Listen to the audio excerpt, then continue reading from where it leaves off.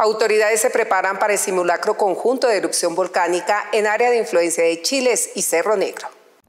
Con el propósito de preparar a la ciudadanía, tanto en Pasto como en zona de frontera, ante una eventual emergencia por la situación que se viene registrando con los volcanes Chiles y Galeras, se ha preparado para este próximo 17 de agosto un simulacro conjunto con el fin de que la ciudadanía tenga conocimiento sobre qué hacer en caso de una emergencia.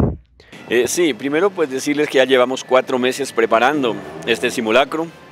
pues que digamos dada la contingencia pues de la actividad volcánica del volcán Chiles pues cobra mayor importancia, es un ejercicio binacional Colombia-Ecuador, van a participar las comunidades de la zona alta de amenaza, tanto del volcán Chiles, en este caso eh, la, población de eh, Chiles y Mayasquer, como también de las comunidades altas de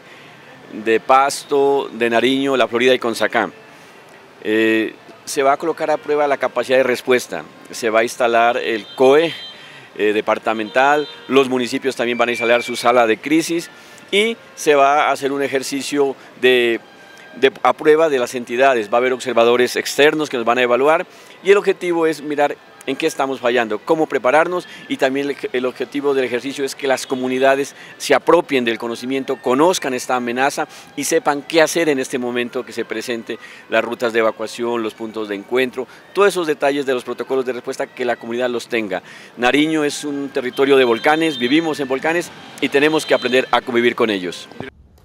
Desde el Observatorio Vulcanológico y Sismológico de Pasto se ha resaltado la importancia que tiene este tipo de eventos para la preparación en materia de gestión del riesgo. Aprovecho estos importantes medios para invitar a los habitantes e instituciones de los municipios de Pasto, Nariño, La Florida, Consacá, en el área de influencia del volcán Galeras, y en el municipio de Cumbal, eh, para que participen el próximo 17 de agosto del 2022 a partir de las 9 de la mañana en el simulacro que se está programando para eh, una posible erupción de los volcanes Galeras y Chiles para estas poblaciones. Este simulacro está siendo organizado, patrocinado e impulsado por la Dirección Administrativa de Gestión de Riesgo del Departamento de Nariño junto con las direcciones administrativas de los municipios antes mencionados. Los invitamos, este es un, ejercicio muy importante, ya que residimos eh, junto a estos volcanes activos del territorio nacional